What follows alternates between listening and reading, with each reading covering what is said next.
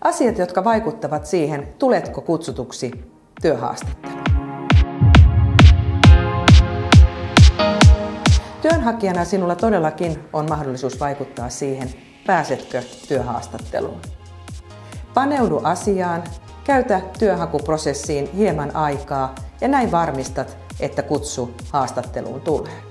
Seuraavissa muutamia asioita, jotka auttavat sinua tässä. 1. Osaaminen, kokemus ja koulutus.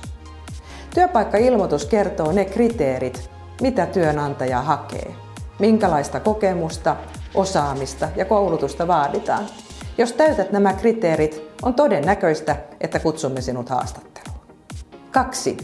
Hyvä CV. CVllä on iso rooli työnhakuprosessissa. Räätälöit CVsi juuri tätä tehtävää silmällä pitäen.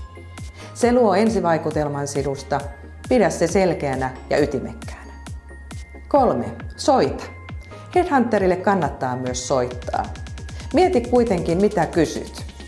Kysy 2-3 hyvää kysymystä, joihin vastaukset eivät selviä työpaikkahakemuksesta tai helposti yrityksen nettisivuilta. 4. Hyvä työhakemus. Työhakemuksen rooli korostuu haun loppuvaiheessa. Se vahvistaa mielikuvaa sinusta.